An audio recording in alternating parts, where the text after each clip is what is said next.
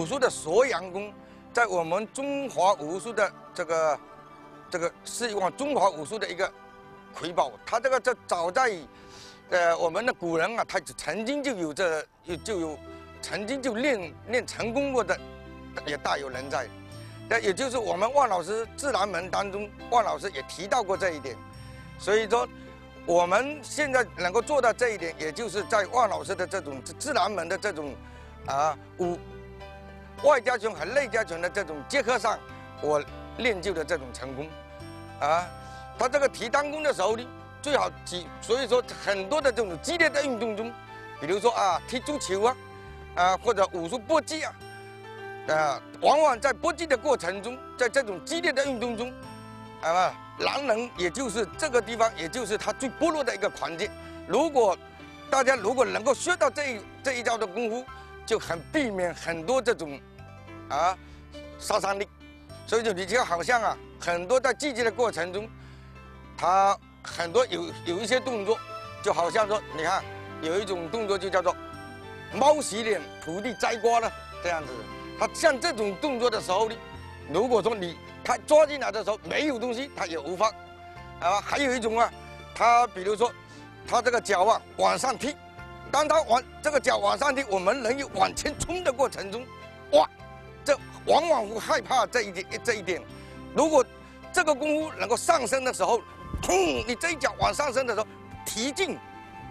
我们就可以发挥自己的很大的杀伤力。所以当一个人我们往前去的时候，就没有什么。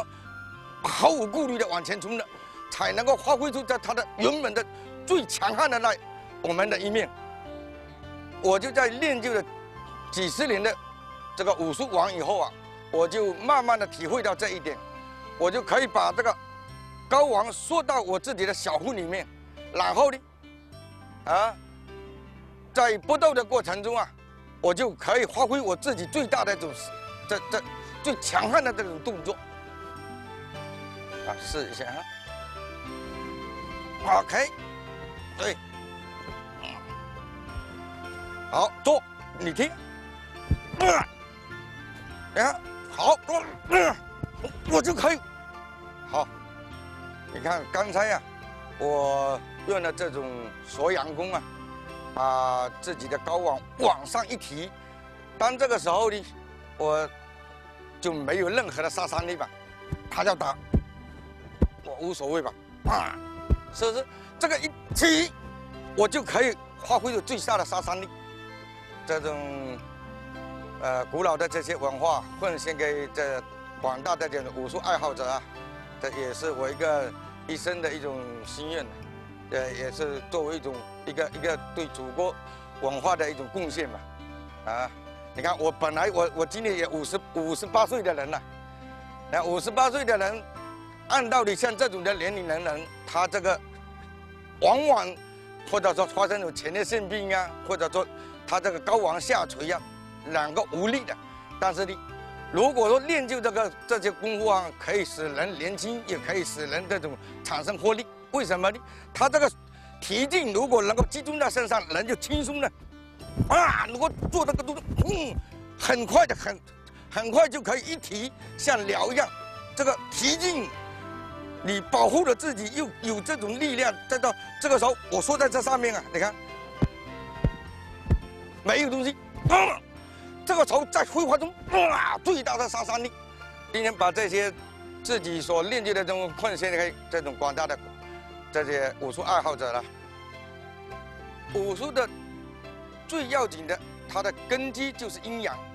这阴阳贯穿于整个武术的一个生命，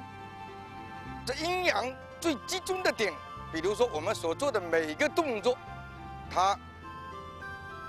生者为阳，缩者为阴，上者为阳，下者为阴，啊，右者为阳，左者为阴，就是像这样子，力量看近的都为阳，力量消弱的都为阴。所以这个武术讲阴阳，它是无处不到，但在我们人体当中。最讲阴阳的地方，也就是我们人体最薄弱的一个地方的地点，那就是男人的阳阳具，就是我们的阴部。这个阴部啊，它就挂在我们人体上，这个又是就是天地对我们安排的不不正当的一个地方。但是呢，这个地方啊，它有一个地点，有一个有一个话，就叫做助中医上讲嘛，助阳之首，助精之首。所有的经最大的经就是我们这条经，这叫做助精之手，在这个地方。所以，当我们武术气血练到这个地方的时候，它这个，当我们这个勃起的时候，就是因为阳气血最贯穿到这个地方的时候，它就才会勃起。所以这个地方呢，当要把它练到这个，如果说能够运用自如的这个身上，那这个时候啊。他这个练功的过程有一段时间，需要有很大很长一段时间这种修炼。当他要修炼这个功夫的时候啊，首先的一点，人体要放松，就好像我们手呃意识上要想把手举起来，啊右手举起来，左手举起来，力量要达到这种啊指尖上。但是到这个地方的时候，往往因为它不好练，所以它需要有一段的时间的一种练习的方法。最要紧的起始起始的功夫，比如说，当我们人体两脚放松站立的时候，你看两脚要放松与肩同宽，也就是把我们人最放松，你觉得站在那个地方是最放松的地点上。这个时候呢，两个肩膀要下垂，就好像我们整个人都是一条骨头，把自己看成是一个没有没有没有肉的这样子松松的一个人站在那个地方，很松。首先要松，松本身就是一种静的一种象征。一个人要静，要松，这个时候思维上啊，人体的这个思维上呢，要从头到尾，从头到脚慢慢的往往下松下来。这个时候松的时候呢，首先把额头放松，然后呢，往下眼眼皮放松，因为我们人啊，眼皮一往上睁的时候，它就是。就是紧张的时候了，这个脸皮的这个眼帘的这个三角肌就被这个三三叉神经就被被被它带动起来的，所以呢眼睛不能够用力的往外张，轻轻的放松，然后呢两个两颊放松，两颊放松的时候呢嘴巴里面放松，舌尖轻轻的点在牙齿的上缝，这个叫承浆穴的一个地方，那个地方。然后把头往上顶，头顶也是自然的，不是说特意要这种勉强的往上顶，不是的。头顶向稳，这个时候就是把身体全部都放松的情况下，然后吸气往下沉，你要意念想到这自己丹田，这个当想到丹田的时候。当人体静的时候啊，也并不是说静的一点都不动了，就好像我自己这个人啊，就好像摇摇欲坠的那种感觉，摇摇欲坠的感觉，然后用呼吸往下沉，先把自己腹部的这个这这一团气呀，你看，因为这个地方是气机，丹田吸进去的气要能够拉住，才能够使自己这个气机这个地方的一口气。往左右的翻动，左右，才有这种感觉。你看，一、二、三、四，带着身体轻轻的微动，一、二、三、四、一、二。算左七下，右七下，左七下，右七下。这个随时的这样子，以自己的意意念和带着自己的气，在这个地方不断的练习。为了大家能够看得清楚的，这个呢，当你气吸气往下沉的时候啊，丹田就在这个位置上，在肚脐下一寸的这个地方，但是它不是在皮上，在当中。当在我们身体里面，就是在这个腹腔的当中，腹腔的腹腔当中呢，这个时候，你看就在我们阴部和肚脐当中的那一个，自己意念在它里面，这这个这就是我们人体的气机，吸进去的气都在这个方向上。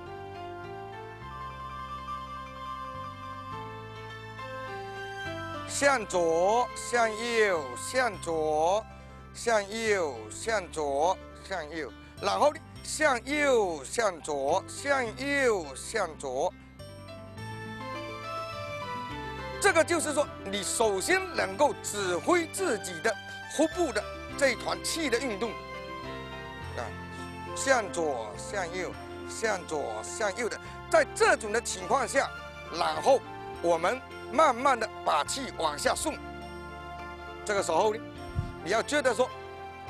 啊，这个平常还要经常的，你要刺激自己的这个睾丸，在刺激睾丸的时候，因为我们人啊，男人的这个睾丸腺。睾丸是个很要紧的，它并不是说我们身上的按摩可以锻炼身体，其实是男人很需要按摩睾丸。这个睾丸啊，睾丸腺，啊，这个是，并不是，并不是说那个小孩子玩那个叫做手影，那个是两完全是两回事的。这睾丸腺啊，在自己在夜里的时候呢，他应该要轻轻的刺激，慢慢的动这个睾丸。让它这个地方，因为这个地方有神经啊，有细胞啊。当它的细胞指挥着我们，能够我们的意念能够指挥睾丸的时候，你这个时候把气往下沉，然后把气往上提，这样子的过程中，这是一种练习的一种方法。武术啊，最上层的阶段，也就是说，能够把自己身上的一些利弊能够权衡，把弊的地方能够。把它围躲藏起来，所以武术当中有一个地方就叫做缩提裆，就也叫做锁阳功。提裆功的话，如果能够把我们的男男人的这个把这个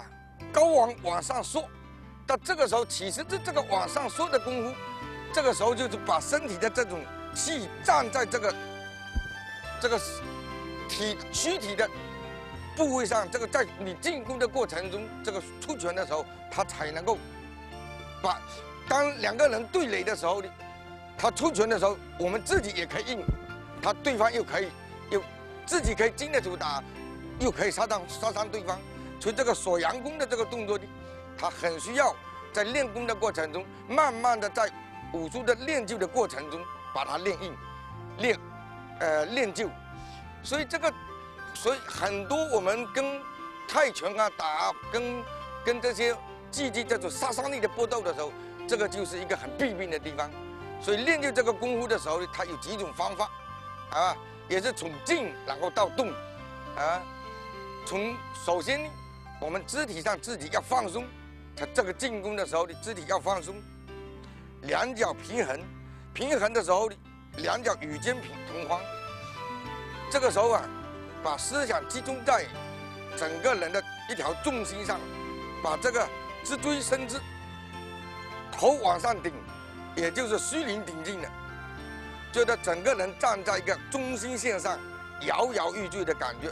把身体放松，人沉静，入入在这种静感的，在这个能够做到完以后，然后就慢慢的摇动自己的身子。在摇动的过程中，先正，先把那个气血归结在丹田，产生这种丹田，丹田能够能够动。接着的慢慢往下摇，觉得说这个时候啊，下身的动不大，觉得说就在这个胯骨这个之间啊，这个腹股沟的这个部分部位，向左的时候，把这个力力量就冲到。意念就想到左边的睾丸，往上提，往上挤，往上提，往上挤这种感觉。如果呢，把右边的这个往右转的时候呢，这个呢意念想到这个腹股沟的右边，往上挤，用大腿的这个交叉点很紧，仅仅就在这个地方的三角线上，往上挤，往上提。但是身体要放松，意念一定要贯穿到这个睾丸线上，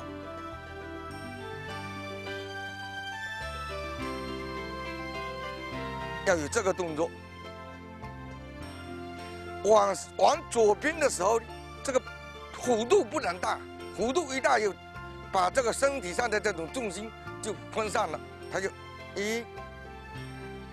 二，这个时候一二的这种动作的就就有这种感觉，这个动作的感觉往上拉，一放松了，二这一拉要觉得下面这个动作往上拉。啊，三、四，做这个动作的时候，所之所以说身体要放松，也就是把力量集中到这个地方了。左右左右的达到这种训练，左右左右的训练方法。那这是一种在日常生活中早上起来的时候，当然因为什么？我们要因为人身上的一种呼吸啊。它不只是鼻孔呼吸，我们人的七窍它是与这种世界是相通的，好像眼睛啊、耳朵啊、鼻子啊、嘴巴，包括我们身上的这毛孔都是与这大自然是相系相通的。所以说，有的人啊，他如果说被火烧了、水烫了，这毛孔如果说被烫完以后啊，这个毛孔被烧伤了，他这个地方就很难受。一到夏天啊，空气里面的这个气和外面的气不叫不能交通，所以这个时候会觉得很难受。武术上它不是有这个这两个两个老弓箭吗？这个两个老弓箭，它所以这个是踩气，把这个手放松的时候呢，用劳宫穴往外踩。这个时候大拇指往上张开的时候，这个是要觉得劳宫穴受到大自然一种吸气。放气，这个大拇指往下压的时候，就觉得是呼气的动作，吸呼，所以这个动作的时候，很经常要有做这种动作。这为什么？这都是配合，作为你这种把浊气往后升，能成一种达到一种静的一种入静的一一一个方法。所以很多动作的时候，你就做这个手法，他就觉得这个很轻轻的张开，因为他这个讲究阴阳嘛。在这个动作的时候，他就。吸呼吸呼，吸呼吸呼的时候呢，你把这个吸气吸到能够吸到，尽量的把吸气拉到，拉到这个这个丹田气气上。这个时候啊，如果说我你看这个地方啊，他就可以知道说这个是一动一下一动一下的那种感觉。好，这是一种一种练功方法的。第二种练功方法呢，它可以做盘腿双盘。当我们人双盘腿的时候啊，它为什么呢？它这个两个脚啊，啊，涌泉穴向上，两个手的劳宫穴向上，这是一种；还有一种方法呢，它可以把人体啊，用右肘往上捧，这个时候。意念集中在自己的这个丹田上，也用刚才的那种左右上下的动作，也一样的这种这种左右上下的动作，提劲、提劲、提劲，这个时候的思想更入静。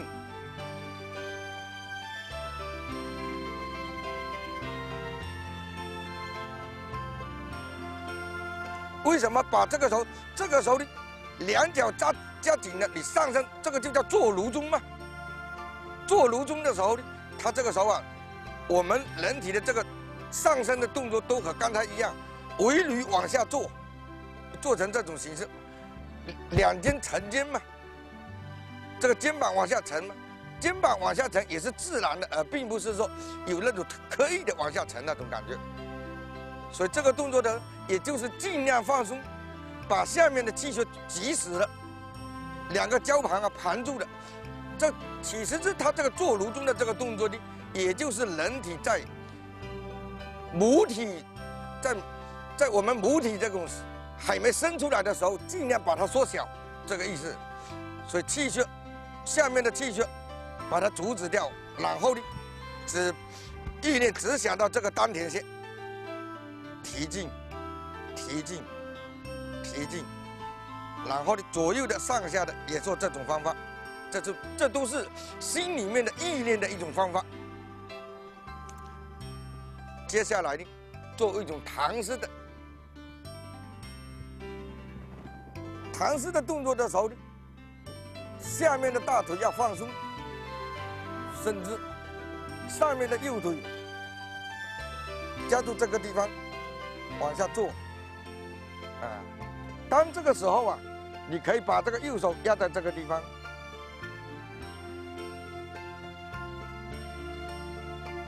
这个手啊压这个大腿上，放在这个地方。因为这个时候高往一个向上，一个向下，这个时候啊一个高往向下，一个高往向下。这个时候呢，你可以把这个意念也是用那种方法，意念想在它高往向上。提进，左，这个时候右右边的睾丸在上吗？提进，提进，提进，缩吧，缩，把身体意念想到那个地方缩，把这个睾丸往上缩，缩，缩，缩，用这种方法，这个时候呢，这是向右的一个方法，左边右边的时候呢。它就向右，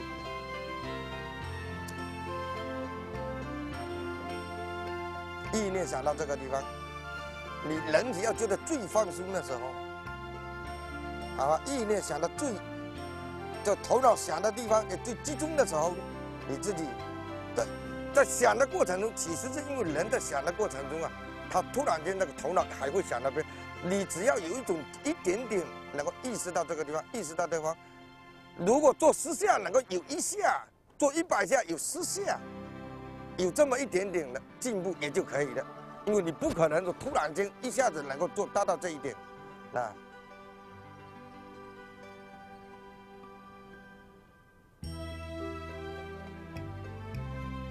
啊，这是一种提的，在这个地方有这种有这种动作提提，弧度大的就这种动作了，你看。提，提，但是呢，我们不能做弧度那么大，轻轻的。这是一种方法。再一种方法呢，那这个时候刚才都是静的，现在又一种重的方法。这个提单弓的，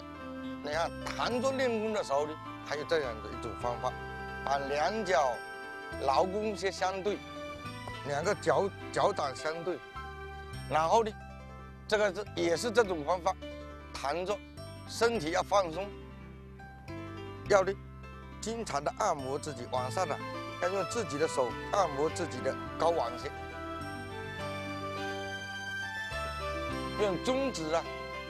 大拇指、中指啊，大把的中指往上托，轻轻的往上托，轻轻的按摩。轻轻的按摩这个动作，那接着呢，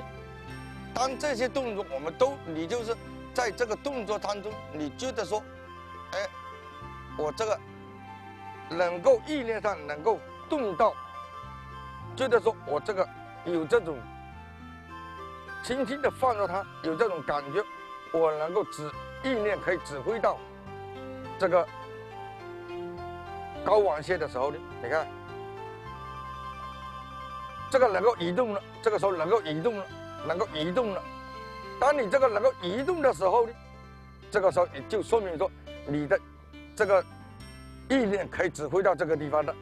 啊，左右的，你看，咦，啊，啊，这个就开始动了。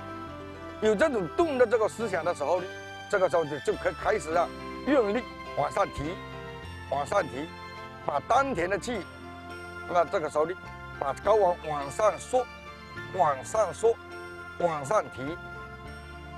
啊，再增加一个呢，练动的功，用字，你看，用这个不动的这个哑铃啊，或者说你还用一个其他的动一个东西，最好就是个圆的，最好是圆的，这圆的这重量又不重，这个大概在十六斤、十八斤这样子左右，两手伸直，不用大臂的力量，不是做这个动作，这个动作是错误的，好吧？这个时候是手的力量伸直的，大臂都伸直的，这个身体上的没有用这种大臂的力量，用身体的腹部的力量，呼吸，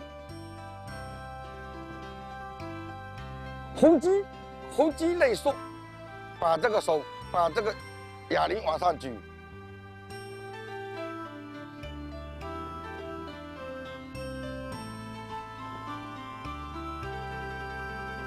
有这个动作，这个如果说你做成是这个样子，那不对的，完全就失去了这个意义了。这个手手伸直，手伸直，把这个肌，这个骨，两臂的这个骨头啊，全部都是直板性的，直板性的。这个时候呢，完全靠丹田的力量，靠靠呼吸往内收。红鸡那时候，把脊椎呀，用自己的脊椎，这个时候只觉得脊椎在地上，碰在那碰在那个地面上，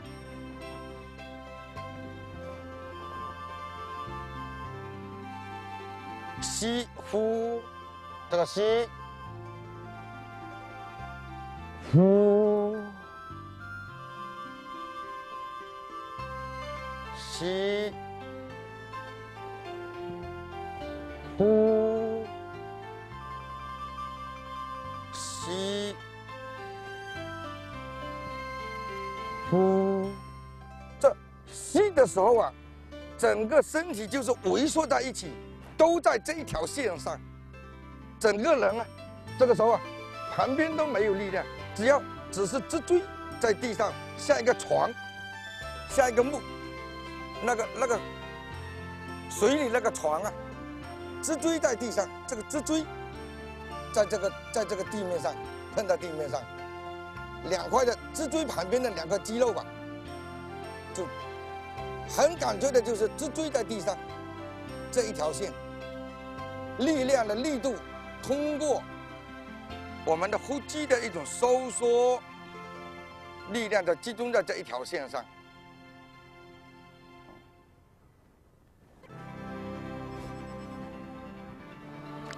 好，你看，两脚的劳宫穴相对，两膝往内收，两膝往上收，自然张开，自然张开。两手伸直，尽量伸直。伸直的时候，这个时候看这个地方的力量，缩，呼吸缩，呼吸收缩。手就被上上上升了，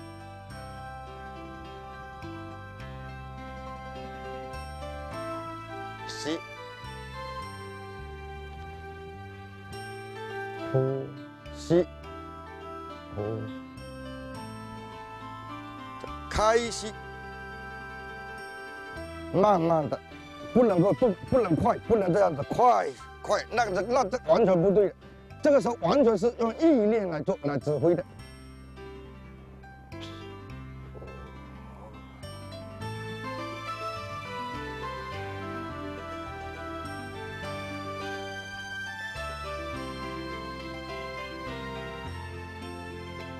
好，当你能够肌肉能够收缩到这条线上的时候，吸就收缩了。这个时候啊，收缩了。你看，他就觉得这个动作缩，以后慢慢啊就练成缩，就在这个地方把它缩上来的，缩上来的可以。自然的摇动，摇动，摇动，摇动，摇动，就这个动作好。那你要你要做成这种去打它，你知道啊啊啊啊啊啊，就形成了这个动这个功夫了。呃，锁阳功这个动作啊，它其实是在我们生活当中，日常生活当中，它都要开始练的，都要贯穿在一个一个整个生活当中的，就好像说。我们一个人啊，如果说在这个生活当中啊，你一天啊，这个又是把这一段时间是作为一种练功的，那一段时间是作为这种学习的，把它居然分开的。哦，练功的时候是练功的，啊，这个学习的时候是学习，那这个其实不应该的，因为作为练武术的人，他这就是要去练就这个道这一门的这种道嘛，这个就成为一个一个它里面的一个一个方法，它是贯穿在生活当中的，啊。贯穿到生活当中的时候，你随时都应该练，这个就叫做日月提了。日，一天一夜一每时每刻都要在练这个动作。这个就是说的，那那要在工作中的时候，你稍微思想上一放松，比如说你在开摩托车啊、开车啊，或者说这个骑脚踏车，日常生活的这种散步啊，你就都要有这种思想去练这个功夫。你当你还没有练就的时候，他这个意念不能够在这一段时间之内，你一定要都要贯穿他练的。当成功的时候，那是无所谓的。一成功的时候，在就在积极的过程中，一刹那间就要有这种动作，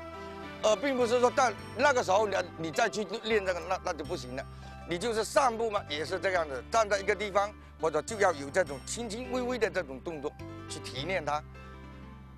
这样子的日积月累。一点一点的慢慢把它记录起来，才可以达到这种成功的一个。因为物这个东西，它叫练功几十年，贵在一时之物。你看锁阳功啊，它这个动作的，它就是说，你当你这个动作成功的时候，它就是说，它一刹那间提提劲就要上来了。比如说，当你要做一个动作的时候，啪，这一刹那间它就砰，马上就要有这种动作就要产生了。它一缩，整个人。你要是在日常生活中，他没有这样子，就好像我们你要做个盘锦，把它这个动作啊，绳子把它绑起来，总不能今天绑一下，明天又放开的；明天绑绑一下，明天又放开，后天又放开的，它是不能成功的。它成功的这个机会，它就在很长的时间当中，忽然间一时而悟，这个东西就差，这个才能够成功的。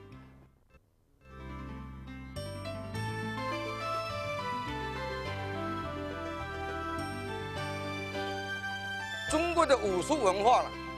它其实是和我们的书画和艺术都是密切相通的。它只不过呢，该被外人看来说，认为说武术是武术，书画是书画，艺术是艺术。其实这这两门的东西，它就是一个同同出一条根的，只是说在体现上的一个两个方向的不同。所以说它这个叫做同工异曲。其实这它里面的联系是内在很有千丝万缕的联系，就好像武术啊，它是在空间写字，书法的是在纸上写字。它这个在书画的过程中，书画只是能够看得见，而这一笔一画写下来。武术的，它在过程中结束是被人家看见的，过程看不见。比如说武术这样的一个动作，哇，你看。他这个手啊，往上装慌掌，然后呢，这个要取这个慌慌掌的体势，然后取这个一一做这个手，好像觉得这个这个空气很很利湿的那种感觉，取慌取慌的体势，然后呢，顺着这个一四一一做这个手掌往前伸，然后啊，到这个快要顶点的时候呢。沉转沉，变成一种圆重的一种圆，产生一种圆沉重的一种方法。你看，一、二、三，这里面和书画的感觉是非常一样。比如说，你看一个立体隶隶书的一个横画，它也就是这个样子。它取笔点臂的时候呢，往上放，然后呢也是取这种姿势。所以这个武术和书画。是非常有联系的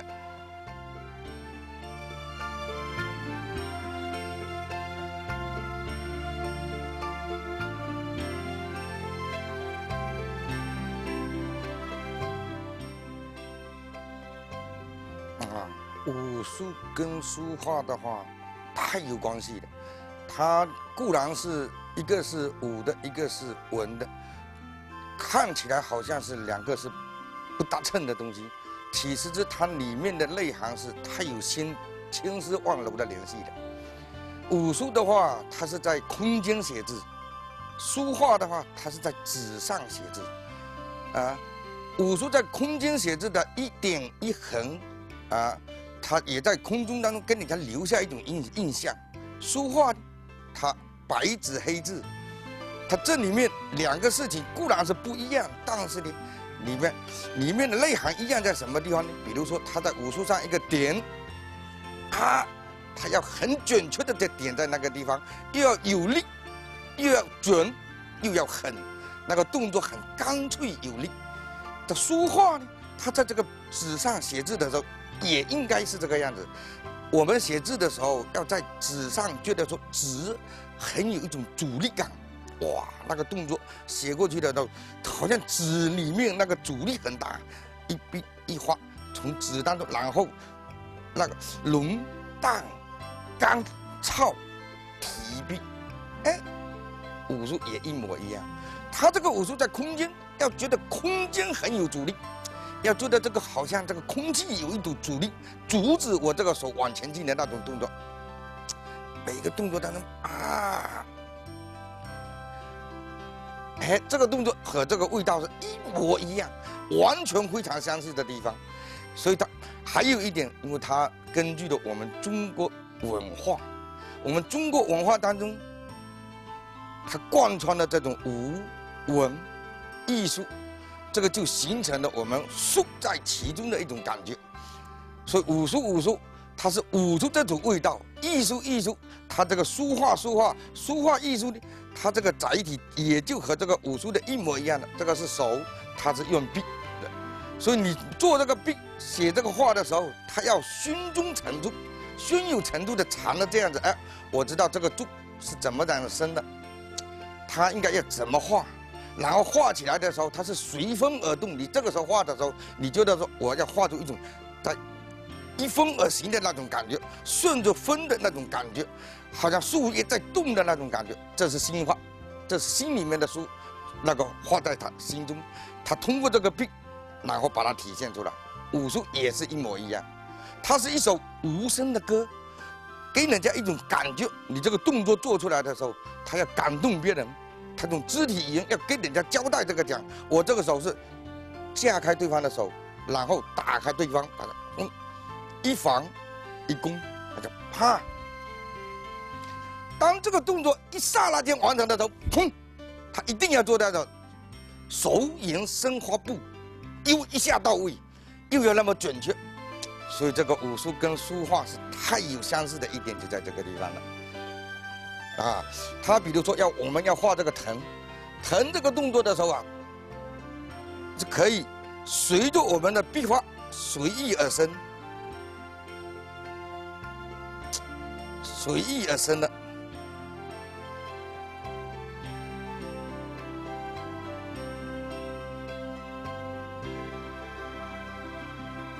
多有趣！他就哎，这他这个笔在手上产生了这种哇，随着随意而生的，像流水流行云流水一样这样子来流过去的。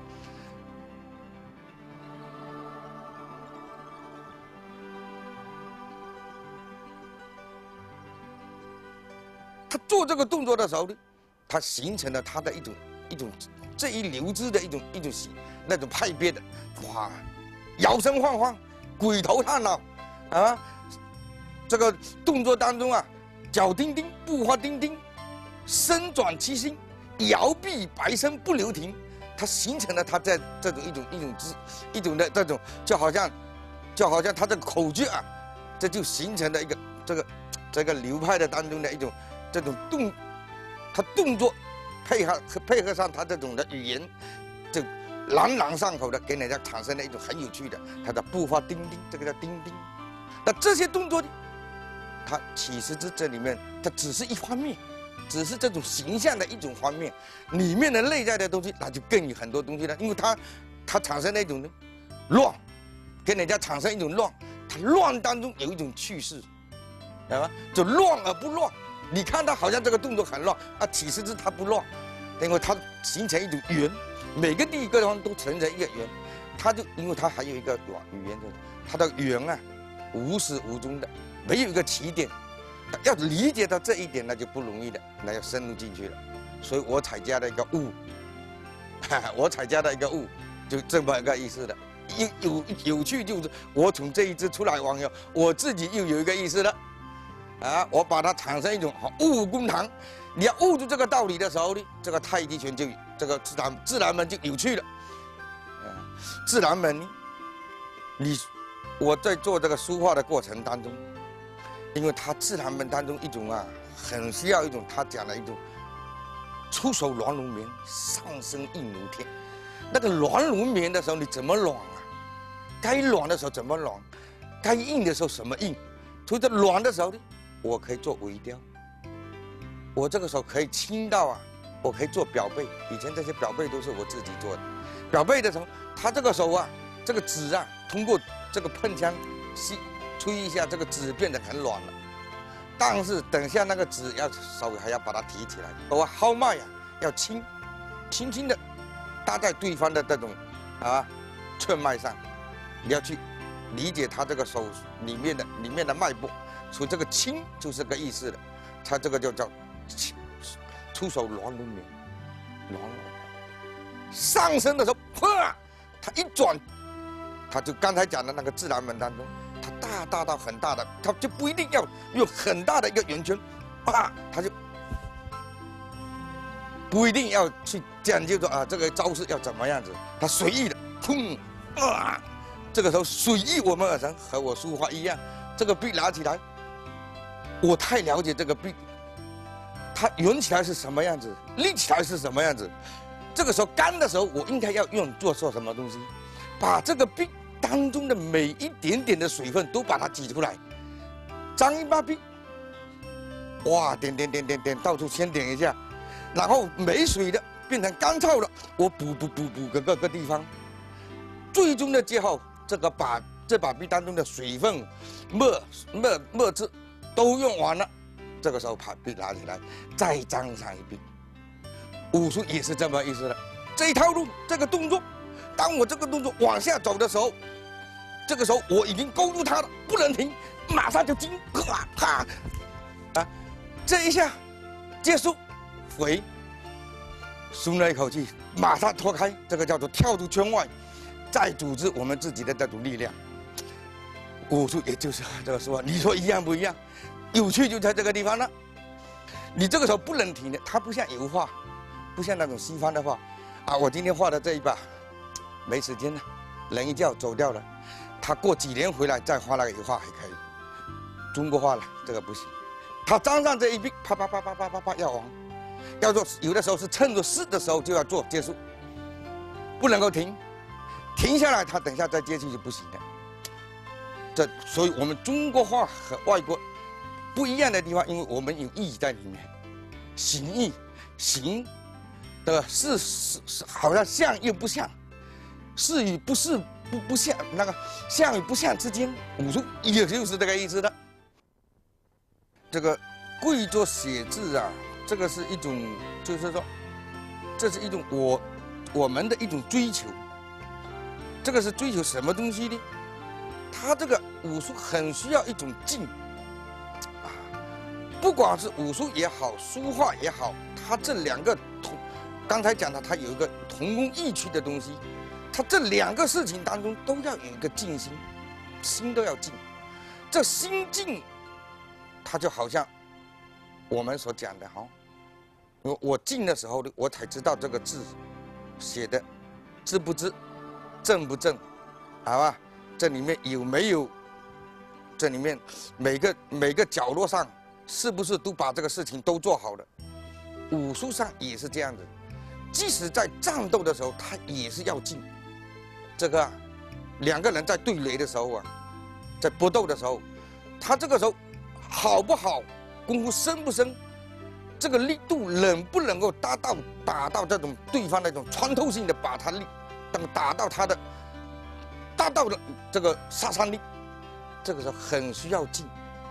静的时候，它这个力才能够从内部画到最彻底，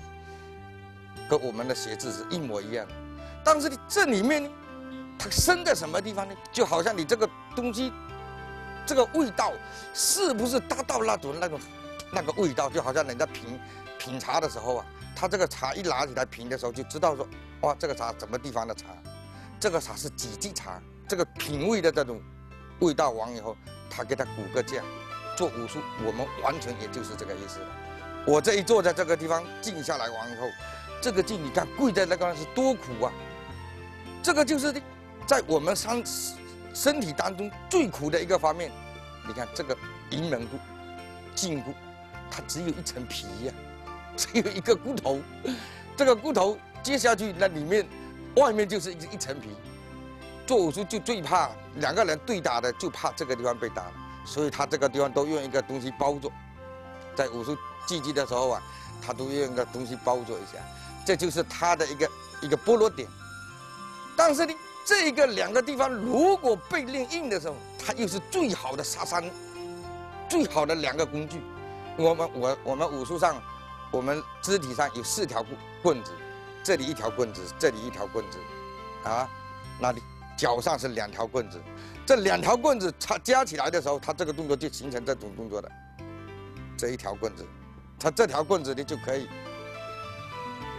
这一晃一打了，它就砰砰。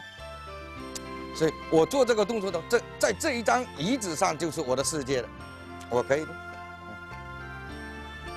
然后呢，这个通过这个脚的练练心，而并不是真正叫它硬起来，硬是只是一个方面。主要练心、入静，好吧？让他一种吃苦，我能够得到，我能够达到什么呀？就好像一个一个一有运运动员，我一吸一口气，我沉到水底去，能够沉多长时间？啊，他能够沉多长时间？然后他就是去创造这个自己心中的一个目标。我这个静下来，我我以后能够达到什么样子？我这个力气是不是能够从字背上打出来？能不能归一？我们讲的归一，武术上的归一，就是我这个手打出去了，是不是能够正？啪，啪，啪，啊！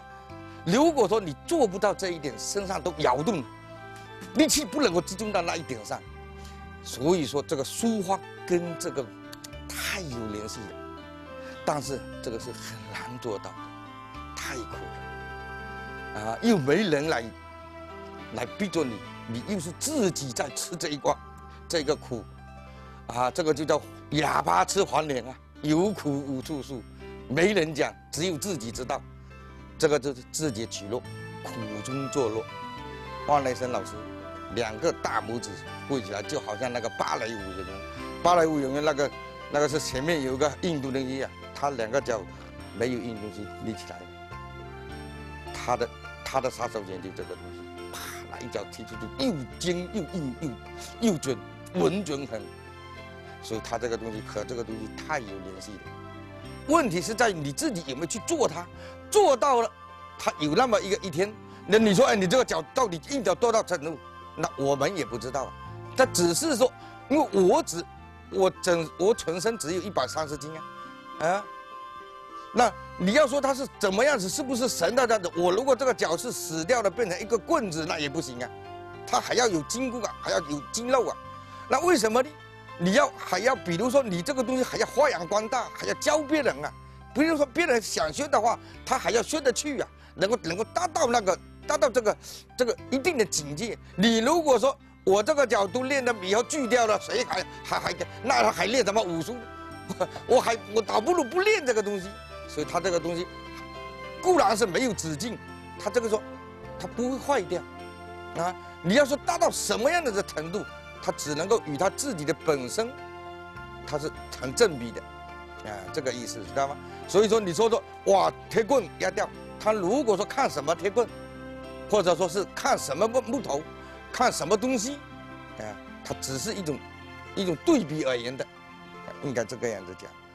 首先都是。比如说我那个哑铃啊，那个哑铃，这个都是练功的，然后练练练，到最后的结果跪在这个地方，还有打那个木头，踢那个嗯呃踢那个木人，踢木人，然后最后我才总结总结总结，才练到这种以跪长写字，两个把它方面把它结合起来，这个是最好最好的一个一个一个方式的。到我们这个时候是沉下来的，根本不怕痛，还要把它拿去挪，还要拿去挪，忒难了痛。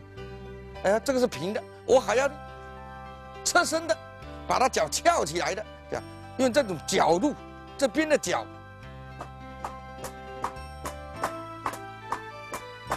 如果说这是平的，那只是平的，啊，平的一种拉。我还要在这个脚上的这种功夫，啊，就肯定要等刀割一下那种，把它的皮都裂掉那种感觉，这就是自己去寻找这一些的，啊，这就练功的方法。你针对着自己，一点一点苦里面去吃。刚刚开始的时候，你怎么敢当用那个脚脚？本身这里就是尖的的脚在对脚，那不得了的，痛的不得了，啊，到现在这个样子，我可以沉下来。不但沉下来，我心里面还要能够静进去，啊，所以他这两个的结合，在这个地方，在这个遗址武术和书画当中，我遨游在这当中呢。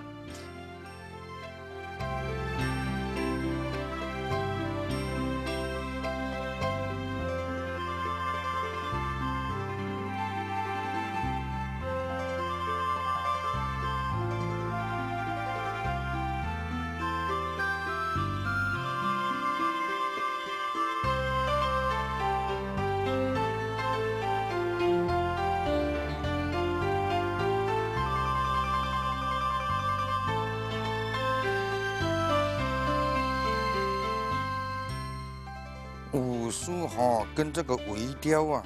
它这个很有联系的地方是怎么样子？它就是说，它这个手要轻，轻到就好像我这个手在薅麦的那种感觉。它首先这个字书法要它全在心中，字要很，这书法要很很精通的字应该怎么写？然后这个手呢，它通过这个手啊，然后。从镜当中，它只是一个刀尖挂在这个画在这个狮头的背上，那就好像我们做武术的人，两个手我连上的，啊，这个手我连在手上，不能让让他离开，只要他手在我身上，我碰上了，他一走我就跟，他一来我就退，他一凶我就躲。他一退我就进，这个他书法也就是这个意思的，这个围雕也就这个意思。我这一把笔只是一点点刀尖就在这个背上，然后呢，通过我们这个手，我插到我这个手已经碰到那个这个狮的狮头了没有？这狮头碰到完以后，重一点，这个叫做钝。走的时候，我叫做哎，这个就脱了。每个动作当中就有一种阴阳配合在这当中，然后我们心中有这个字，所以说这个在运用这个笔画的时候，就和武术一模一样的那种感觉，就是这个手啊轻到这种程度，他通过这种心境，才能够在这个壁画上体现出来里面的书法啊。那你看看我这个刚才写的字，这个微雕啊，它就是很细微，细微的时候呢，就是说它在这个书法上，你要先有本身就是心中有有书有书法，然后在这个用这种意念静心，然后集中在这条这个这个笔尖上。其实这它和我们武术很有相关的东西是什么东西呢？就好像我刚才讲的那个武术当中啊，它是如果是光看这个手的动作，那这个是只是一种大方面的一种动作。它其实很维系的动作是在心中，心中的那个就好像那个脊椎上，它一点点的动，它那个力度要从脊椎上穿透出来的，然后到这个手。这个书画这个字的这个也是这么个意思，它是书画，它是看这个手上的这样的微细微的动作；武术，它是看里面的细微的动作。如果说书法看到写大字，那个大字写起来的时候啊，它这只是你看到这个大大手的这种挥臂，啊，他就是很难讲到说跟他的这种脊椎里面的这种力力透到外面，从里面的那那那那种感觉，他还没有那那么那那么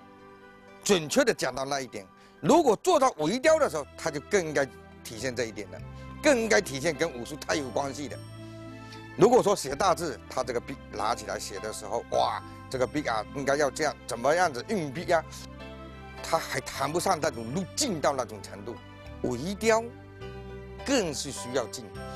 写小楷，我刚才讲的，写小楷已经入静。如果说我能够做到，我跪在这个地方又能够刻这个微雕，那就更上层了，这个又更进一步了。所以你刚才提问说，哎呀。那你为什么能不能用这个，在以这个跪着做微雕？为什么？它静而不静啊，和这个能不能达到这个程度啊？我如果说是跪着，我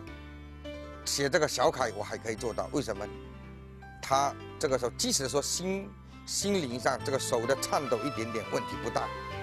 好吧？他因为他他还有一种空间在这个地方挪动差一点，知不知问题不大。如果是微雕的，他要在这样子一条线上，如果进不了，额头就有汗。你看，我刚才所做这个动作，他额头就要有汗，额头一有汗一有汗啊，这个气就就这个就叫气往上升了。这个气一往上升，你去做这个动作的时候啊，它这个就不静。它要静下来的时候，我应该干什么呢？啊，我真正叫做闭门谢客。一点点劲都不行的，我还要叫我爱人，你要叫我吃饭啊，做什么事只能抠抠动动，因为我在这个时候是全神贯注在这里面，一点点都不能够有有这种打扰打打扰我的，啊，他这个时候是非常静，头上就不会有什么什么暗汗出来，我自己的只能够耳朵只听到我呼吸的那种声音，所以说他这个时候啊。就就好像太极拳的那个挤的动作，我两个手指要定在一个地方啊。这个时候你看，就好像我们做武术太极拳当中有个挤，他这个动作啊，啪，撑到这个地方，我要挤这个动作的时候是两手把它提起来。其实是到在这个时候，就好像我们做武术一样，我如果要画这个拳，他是两手把这个手推向这个手，当时这个手没力的。他是这一个手，我把它举到一定程度，这个要往上推，就产生了一种弹性。这个书花，我如果去做这个动作的话，它要定在这个地方，要不然的话还会震动，撑住它。静静的在这个地方，只有一点，手上更集中在一个点上，就这么个意思了。